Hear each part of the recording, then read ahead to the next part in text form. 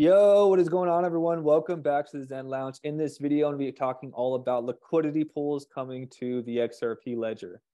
We'll be talking about how the Sologenic team are helping with this and how they already have some amazing design ideas for the XLS30 integrations. What XLS30 is going to bring is liquidity pools and automated market functionalities that anyone could utilize and benefit from this system. If you hold XRP, XRPL based tokens, you could provide liquidity and be incentivized for doing so.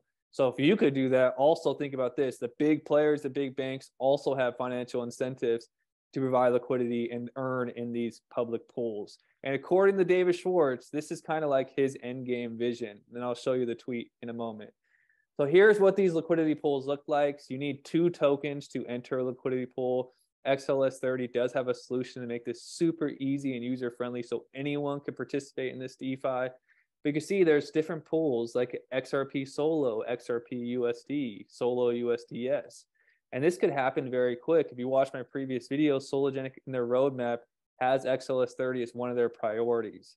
So if you want to be a liquidity provider, make sure you study up what liquidity providing means and you have to learn about impermanent loss and uh, you know the risk and rewards for providing liquidity to pools and what you need to look for.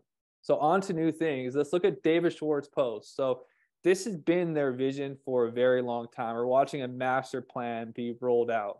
So david schwartz personal vision for xrp since 2013 or so was this idea of deep open public pools of liquidity that anyone anywhere can contribute to and draw off of.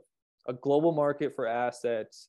Uh, let me show you the next post where he calls it the secret sauce. So currently, this is not live on XRP Ledger. You can't do this. It was proposed on June 30th, and uh, it's on developer net now. But soon, once the XRPL validators voted in, um, I don't see why they wouldn't, because David Schwartz here says for the first time he reveals this is June 30th for the first time, David Schwartz reveals the planned secret sauce, a continuous auction mechanism that incentivizes arbitrageurs to burn liquidity tokens, and arbitrageurs soon, sooner, more accurately, and more frequently increase the benefits to liquidity providers.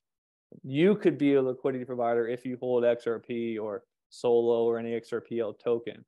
You can even see in this, they have Solo EQ, XRP Equilibrium Games, and I believe that you could probably create your own token.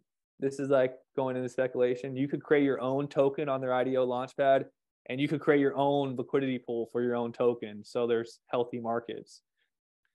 Um, Mickey B. Fresh says uh, Joel, he was mind blown when Joe Joel Katz announced he called it a masterpiece. Cleverly uh, utilizes XRPL uh, basically, let me just show you the video from this clip. So I'm going to take a pause real quick. I'm going to show you the clip of how David Schwartz explains how this whole mechanism works, and then I'll be back on the other side. It should reap as its own profit a significant fraction of what the arbitrage would make. So, so the pool charges for arbitrage rights and it does it using its own liquidity tokens as the currency by which you buy these arbitrage slots, and it destroys them when they're paid to the pool. So arbitragers who want those arbitrage slots have to acquire liquidity tokens either by putting money into the pool or buying them from other people, and then they're destroyed. And if there are fewer liquidity tokens outstanding, the value of each one goes up because it's a claim against the assets of the pool. Now, another thing that happens is volatility. So external prices change, right? The price of XRP changes, the price of Bitcoin changes. That means the value of the assets the pool holds changes. And that drives up both arbitrage activity. There's only an opportunity to arbitrage if the price is out of whack. One source of the price being out of whack would be changes in the price. But also natural ledger activity, people making payments and offers. All of these things trade against the AMM instance, and the AMM makes a spread. But there's something else going on that's almost more exciting which is volatility, is harvested by the automated market maker. Normally, volatility just results in risk and a reduction in yield. But here, it's a gain in yield.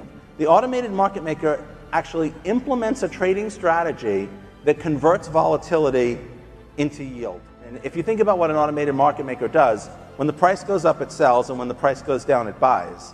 That strategy, if you imagine if you hold Apple stock and the price goes up and you sell and then the price goes back down and you buy, you make a profit. The price goes down and you buy and the price goes back up, you make a profit and you sell, you make a profit. That's what an automated market maker does all day long. In addition, the automated market maker leverages the XRP ledger's inherent advantages. The XRP ledger has very, very fast transactions. The XRP ledger has very, very low transaction cost. These are things that will drive up the revenue and the efficiency of the automated market maker. So if the price of XRP goes up or down and then it comes back in just a few seconds, if you were on a blockchain like Ethereum, there's no way that you could harvest that volatility because your transactions take several minutes to confirm. There's just no way that you can make that work. But because it is so fast, the trading algorithm can convert yield, uh, convert volatility into yield much, much more. I hope you guys enjoyed that video with David Schwartz explaining the mechanisms of the liquidity pools on the XRP ledger. I am personally very excited about this feature coming. But now let me shift gears. Let me talk about Sologenic real quick. Because you can see the plan has been this year uh, to focus, you know, bring a lot of awareness to Coreum mainnet, make sure Coreum mainnet launch goes smooth and successful. In my opinion, they've been in the shadows making a master plan for Solo because they have so much coming. And Otto Nino, this is my intuition. Otto Nino proves it with this post. We do not want to steal the thunder from our mainnet launch on March 24th. Once we have launched our Coreum mainnet, you'll start hearing more frequent updates on our license and pilot. Now look at the Sologenic roadmap. Now look at what they have, it's like a storm getting ready to be unleashed. There's a whole after Coreum mainnet, I think there's going to be a domino effect.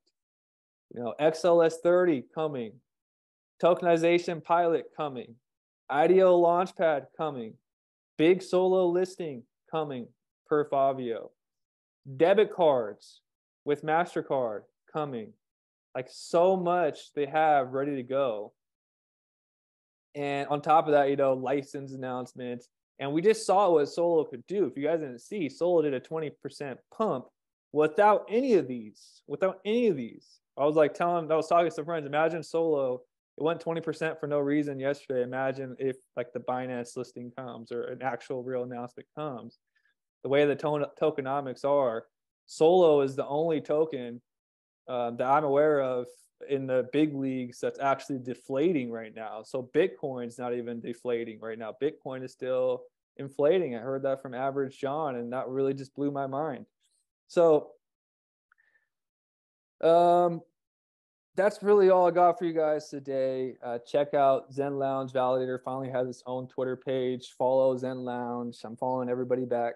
Zen Lounge Validator. I have my own Twitter page now. Let me read this real quick. So I'm gonna read from the Polygon the global head of institutional capital at Polygon Labs, five ways tokenization will solve traditional finance biggest issues. So here's what he says the five ways are it's going to help level the playing field, access premier financial services to um, basically more people, uh, greater liquidity. XLS 30 helps liquidity on the XRP ledger, uh, cost savings. It's going to help people save money, more transparency, fractional ownership, all the stuff that Sologenic's working on. And this was by NASDAQ. You know, tokenization is one of the biggest stories of this year. Um, that's all I got for you guys. I did have a cool post. So going back to the liquidity pools, what I believe would be the master plan is to set up, you know, you're able to provide liquidity. My page.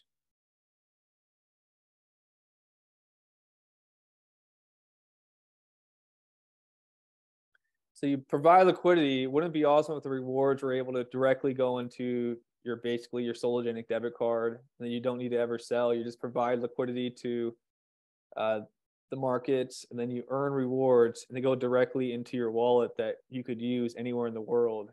Debit card or the future is probably QR code based, right? Like debit cards will probably be out of style eventually. They'll probably be like novel or like a antique. I think the future is going to be QR code I personally want a debit card just for the whole feel and look of it. But you kind of see what the vision would be. You provide liquidity, you earn rewards, and then you're able to go use your rewards whatever, do what you want with it. That's kind of like my end game vision. But remember, do not ever take financial advice from me. This is not a financial show. We we talk about updates, news, research, information happening with tokenization, Solo Nation, etc. So everybody have an awesome day. I do have a new NFT. I'm going to leave you with a clip. I'm in the process of minting Solo Assassin number two. Uh, Solo just pumped. We silenced the critics, silenced the fudders. Again, Solo Assassin number two with the nine millimeter silencer with the full collection is going to be minting on the Sologenic DEX uh, this weekend. I have some more updates. Go to my Twitter page. My Telegram page is free to join. Join my free Telegram page. It's awesome. And be on the lookout for the NFT mint. Uh, these typically sell up very fast, and the resale market is pretty hot. So, uh, good luck for anyone that's able to mint the Solo Assassin Silencer. Uh, the Solo Silencer, the Solo Assassin silences all his opponents. Everyone have an awesome day and peace.